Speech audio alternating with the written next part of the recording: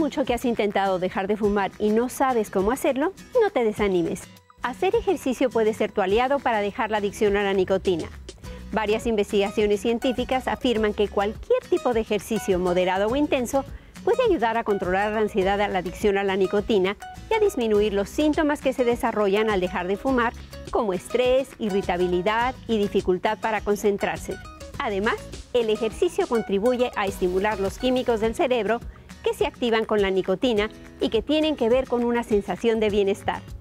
Si te animas a adoptar un programa de ejercicio, notarás que puedes lograr las metas que te propones, lo cual te dará confianza y capacidad para mantenerte firme en tus propósitos.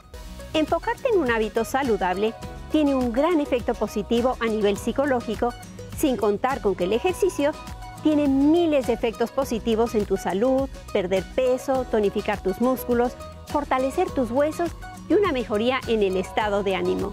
Buena suerte y recuerda, si quieres aprender más sobre los temas que te presentamos aquí, visítanos en vidaysalud.tv. Soy la doctora Alisa.